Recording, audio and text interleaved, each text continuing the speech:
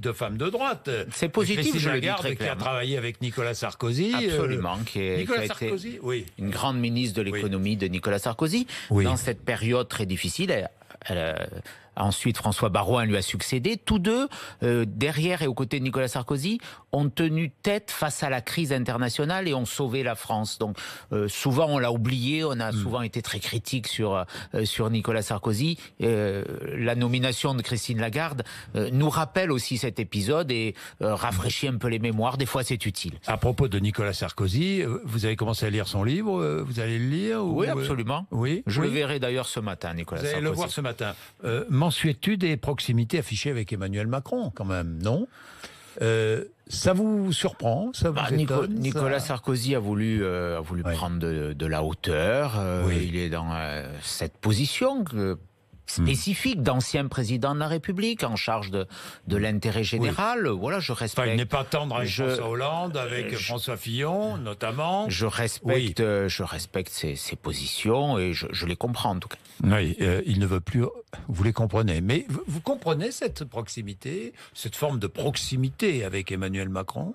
Bah, Ce sont deux hommes qui s'entendent, Bah, deux a- hommes qui conduisent le- des politiques semblables. Ce sont deux. Il y a le chef. Non, je dirais pas ça. Je crois Oui. qu'il y a beaucoup de différences entre Oui. Emmanuel Macron et Nicolas Sarkozy. Sur le fond, on parlait de la politique euh, économique, on pourrait parler de la politique face aux flux migratoires, face à la Ça vous sécurité. gêne cette. Il y, a, il y a beaucoup de différences. Après, euh, Nicolas Sarkozy a cette position spécifique d'ancien chef de l'État et, et il a voulu donner euh, euh, de la hauteur à sa fonction, en se soustrayant un peu des contingences politiques où nous, nous sommes plus au quotidien. Alors des fois, euh, bien sûr, j'aimerais qu'il soit plus dans, euh, dans, ce, dans ce combat dans lequel, euh, ben, disons, euh, les Mais- partis politiques sont, mais sa, sa position, elle est, euh, il elle est compréhensible et Il est clair respectable. aujourd'hui. Ma place n'est plus là définitivement. Ma place en politique politicienne. Il ne veut plus revenir. Vous le regrettez ou pas? Bien sûr, bien sûr. Oui. Euh, Moi, j'ai beaucoup de, j'ai toujours soutenu Nicolas Sarkozy dans tous ses combats.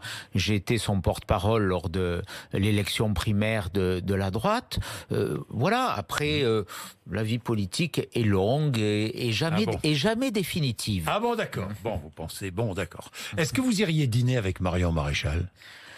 Écoutez, Franchement. moi, euh, j'ai pas, euh, je suis pas sur la police des dîners. Non, je n'irai pas dîner avec Marion Pourquoi vous Maréchal. n'iriez pas dîner? Parce que naturellement, il y a une connotation, il y a une connotation politique. Euh, c'est pas neutre. Oui. Mais après euh, euh, ces procès d'intention contre les uns et contre les autres, moi, je crois que je me réfère, je ne me réfère pas à ce que pensent aujourd'hui mes adversaires. Mon souci dans mon combat politique, dans mon engagement, je préfère le mot euh, politique, euh, c'est euh, la fidélité à des valeurs, à des convictions. J'ai pas à me référer à ce que pense l'extrême droite, Madame Le Pen ou Marion Maréchal Le Pen, comme j'ai pas à me référer à ce que pense Monsieur Macron. J'ai la faiblesse de de ne pas avoir changé dans mes convictions, d'exprimer une forme de sincérité. Nini, On toujours peut- le même on- nini. Non, c'est pas. Au contraire, c'est pas le nini, c'est c'est l'affirmation de ses convictions.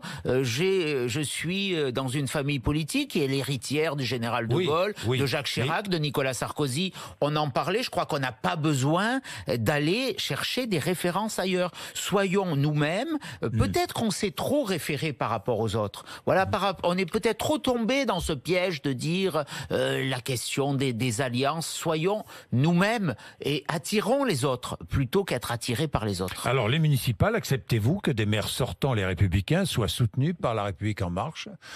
Euh, Ça vous paraît Nous- logique Je, préside la commission d'investiture des Républicains. Oui. D'ailleurs, euh, Oui. je vous le dis, elle se réunira mardi prochain. Oui. Nous investirons euh, nos candidats dans Mais- à peu près 25 euh, communes, grandes villes, euh, mardi prochain. Nous commençons nos, nos travaux.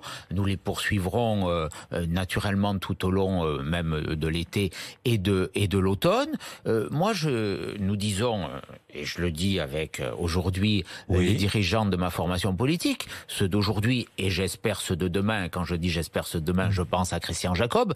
Euh, encore une fois, on revient à votre question précédente. Nous sommes euh, une grande formation politique qui n'a pas besoin de se référer aux autres. Donc pas d'alliance d'appareil. Aucune alliance d'appareil, naturellement, euh, avec l'extrême droite, mais je le dis aussi avec En Marche. Donc nous récusons toute forme euh, d'alliance institutionnelle, de combinaison politicienne, où nous serions naturellement, euh, je dirais, les dindons de la farce, parce qu'on voit bien ce que veut faire M. Macron. Il euh, n'a qu'une obsession depuis deux ans, c'est diluer la droite.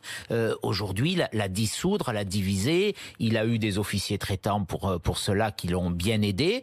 moi, je suis pour une droite indépendante, fort de ses valeurs, de son histoire, donc pas d'alliance. Après, une élection municipale, c'est une élection locale. Et euh, dans l'histoire, euh, on le voit bien dans le passé, chaque maire, chaque candidat, et, naturellement les maires républicains ont constitué leur, liste, et c'est heureux comme ils le souhaitent, avec des enjeux plus locaux. Mais pas d'alliance nationale d'appareil. Pas d'alliance nationale d'appareil. Est-il vrai que vous renoncez à être candidat à la mairie de Nice?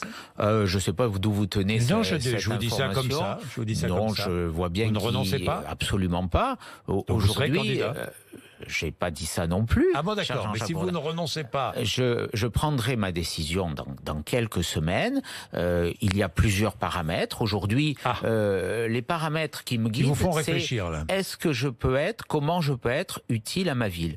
Est-ce que ma candidature va faire baisser euh, les impôts? J'ai demandé à Christian Estrosi de renoncer à son augmentation de la taxe foncière de 20%. Voilà. Hmm. Euh, c'est une mesure importante. Si demain, euh, personnellement, je devais administrer la ville à la métropole, je supprimerai. Mais vous euh, pourriez trouver un terrain d'entente avec Christian Estrosi. Il y a des questions sur. Bah, je pose, je pose ces questions. La question de la fiscalité, d'une nouvelle gestion, euh, l'arrêt du bétonnage de, de, la plaine du Var où on, on nous promet de construire 20, 000, 20 000 logements. Vous pourriez discuter avec Christian Estrosi. Je suis toujours ouvert à, à, toutes les discussions. On a une longue, euh, une longue histoire, mais, en tout cas aujourd'hui, il y, a, il y a de grandes différences. Il y a la question de la sécurité, il y a la question euh, euh, je le dis, euh, de l'environnement aujourd'hui. Hmm. nice est une ville qui a, il y a la question économique. Nice est une ville qui a perdu des habitants et des emplois. Euh, je prends l'exemple de Toulouse, qui est à peu près une ville, euh, quatrième ville de France, la même dimension que Nice. Euh, Toulouse a vu sa population augmenter au cours des dernières années de 15 000 habitants, 15 000 habitants, avec une création d'emplois extrêmement importante. Nice a perdu des emplois et des habitants. Pourquoi? Parce qu'il y a aussi cette question du poids de la fiscalité, parce que la gestion qui a été mise en place, et c'est ce qui me distingue aujourd'hui de Christian Estrosi, n'a pas été suffisamment économe de l'argent public. Il y a une politique de prestige, mais derrière, il y a beaucoup de difficultés. Donc la question euh, de la candidature, euh, elle se pose naturellement. J'y réfléchirai. C'est une question euh, difficile à apporter, bien sûr. Euh, on va voir aussi ce que fait En Marche à Nice, là encore, parce que je vois qu'il y a des hmm. appels, plus que des appels de part et d'autre, il y a hmm. manifestement des discussions entre En Marche et Christian Estrosi, c'est Monsieur Guérini qui, euh, qui l'a, qui l'a indiqué. Donc tout ça euh, n'est pas très conforme à l'idée que je me fais aussi de la clarté en politique. Voilà, euh, j'ai des repères, on peut les contester, c'est la clarté d'une ligne, c'est la clarté d'une gestion. Économe de l'argent public, c'est la priorité à la sécurité aussi dans une ville. Voilà, donc toutes ces questions. Puisqu'on parle de sécurité, Eric Ciotti, je voudrais vous revenir sur ce qui s'est passé vendredi à Paris avec euh, ce gaz lacrymogène, des aérosols utilisés sur des manifestants écologistes euh, pacifistes. L'intervention des forces de l'ordre était-elle parfaitement régulière et légitime, comme le dit Christophe Castaner? Oui, elle était légitime.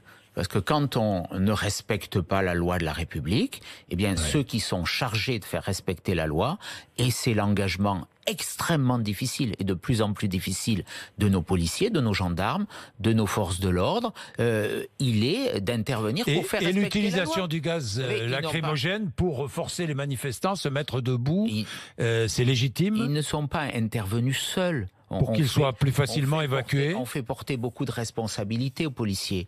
Moi, j'en ai un peu assez euh, hmm. de ce procès euh, contre nos forces de l'ordre. Je, je voudrais rappeler quelques chiffres aussi.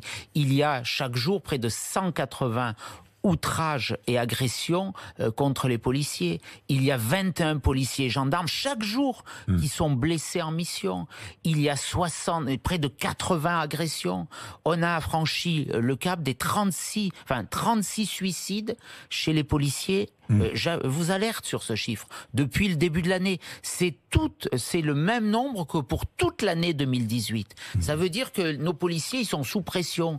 Ils reçoivent souvent des ordres contradictoires, y compris euh, de Monsieur Castaner en matière de maintien de l'ordre, parce qu'à un moment on leur demande d'être euh, strict et à un moment on leur demande de lâcher la pression. Donc aujourd'hui, ils font face à un déficit de moyens extraordinaire, des véhicules en bout de course, des commissariats euh, vétuste. Donc, euh, il faut soutenir nos forces de l'ordre. Après, euh, s'il y a des responsabilités individuelles, des fautes, on est dans un pays droit, il y a l'IGPN, la justice a été saisie, c'est le cas dans de nombreux cas sur les manifestations, mais pas, pas d'amalgame contre les forces de l'ordre une reconnaissance pour les forces de l'ordre. C'est en tout cas le message que j'exprime personnellement. Éric Ciotti, euh, proposition de loi Avia, de Laetitia Avia, euh, du nom de euh, cette députée de Paris et porte-parole de la République en marche.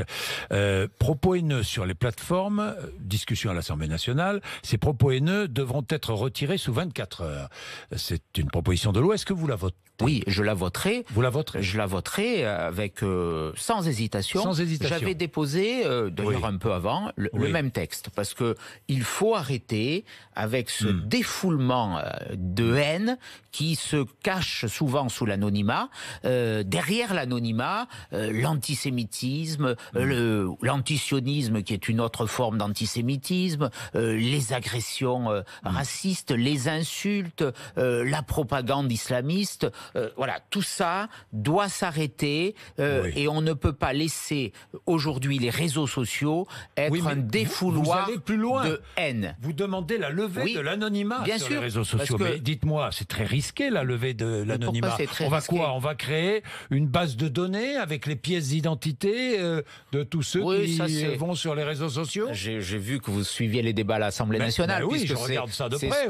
Objecté euh, les opposants. Mais la question se pose pourquoi, quand on est sur un réseau social, euh, sur Twitter, sur, hmm. sur Facebook, on se dissimule derrière un pseudo? Euh, voilà, je crois que quand euh, on se parle, on se connaît, on se dit les choses. On peut ne pas être d'accord, mais euh, cela ne l'anonymat conduit à ces dérives. Donc je propose en effet que quand on s'inscrive sur un réseau social, il y ait l'affirmation, la vérification de, son identité. Parce que l'anonymat, c'est le visage des délateurs, c'est le visage des lâches, c'est le visage de ce que l'humanité a de plus sombre. Bien. Euh, Vincent Lambert, après euh, la décision de la Cour de cassation, les médecins de l'hôpital Lorrain ont décidé d'arrêter les traitements de Vincent Lambert. Euh, c'est raisonnable? Franchement. moi, je, Je, oui, je le crois. Je respecte, je respecte la décision de, justice. La Cour de cassation s'est prononcée. Euh, derrière cela, qu'est-ce qu'il y a? Il y a un drame familial. Euh, il y a beaucoup de cas euh, analogues dans notre pays. la plupart se règlent dans l'harmonie avec la communauté médicale et la famille. Euh, pourquoi on est dans cette situation? Parce qu'il y a un conflit familial qui oppose euh, l'épouse de Vincent Lambert, euh, six de ses frères et sœurs, et puis de, de l'autre côté ses, parents. Donc d'abord c'est une c'est une tragédie humaine, c'est une tragédie familiale, c'est un long calvaire pour cette famille, de quelque côté qu'on soit. Donc moi aujourd'hui, j'ai dit, je, je, respecte la décision de, de justice et je pense pas qu'il faille en faire une polémique et un débat politique. L'ont fait ont eu tort, je crois. Bien. La PMA étendue à toutes les femmes. Est-ce que vous voterez ce texte? Non, je ne le, je ne le voterai pas.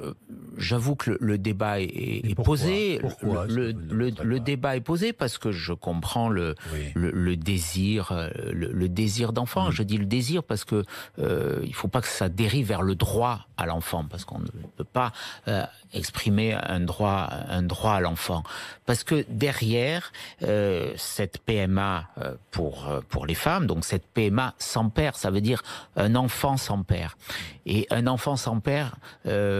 personnellement, ça, ça me gêne, ça m'interpelle parce que ce n'est pas conforme à ce que la nature a fait. Voilà. Donc demain, la PMA sans père, elle va conduire, pour les femmes, elle va conduire à la GPA parce que les hommes vont réclamer euh, les mêmes droits. Et la GPA, bah, c'est euh, le fait de vendre, de vendre le, ventre d'une femme. les hommes ne euh, portent pas l'enfant. Oui, mais justement, justement, justement, parce que il va y avoir cette revendication. Et comment s'y opposer si, de notre côté, on l'a accepté? Mais c'est une question de conscience. C'est une question difficile. Parce que Là aussi, je pense qu'il faut pas en faire un débat politique. Chacun, chacun se, se prononcera. En tout cas, moi, je souhaite pas que ma famille politique porte un, message. Il y aura des, il y aura des parlementaires. Ils l'ont dit à l'Assemblée nationale. qui vont voter la loi, d'autres qui vont s'abstenir. vous pourriez vous abstenir. Et je respecte ce, choix. Je, suis plutôt aujourd'hui. Nous verrons euh, les modalités du débat,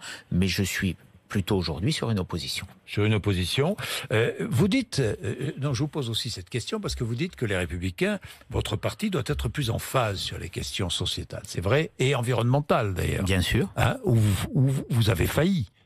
Éric Ciotti. Non, on n'a pas failli. parce que vous, vous rappeliez tout à l'heure le message de Nicolas Sarkozy. Qui a fait en premier le Grenelle de l'environnement? Oui, non, mais d'accord. Oui, d'accord, mais, c'est quand même. Mais ces derniers mois, ces dernières années. C'était il y a près de dix ans. Donc, euh, avez-vous souvent parlé d'environnement euh, pas, suffisamment. Oui. Pas, suffisamment.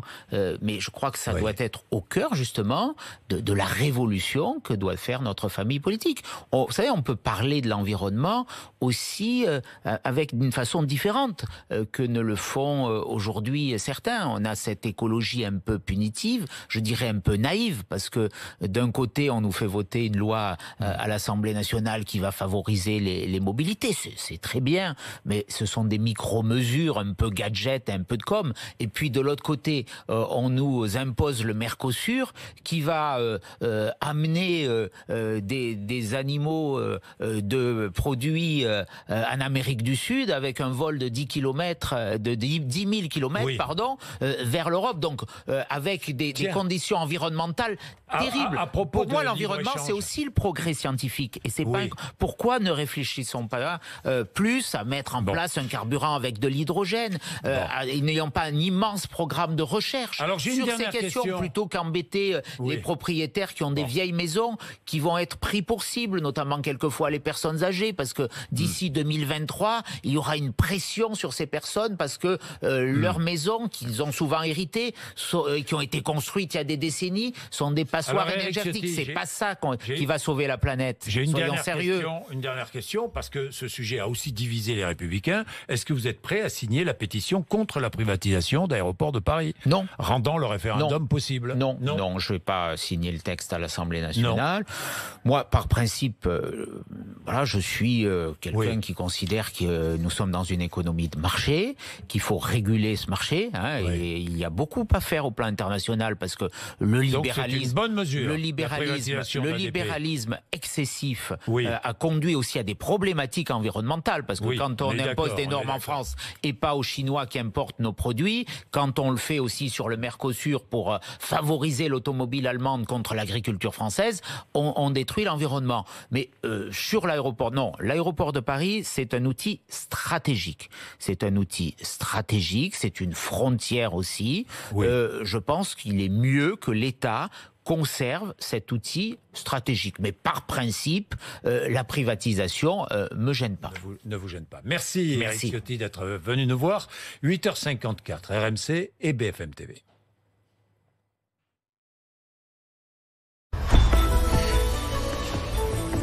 Retrouvez l'appli BFM TV sur votre mobile.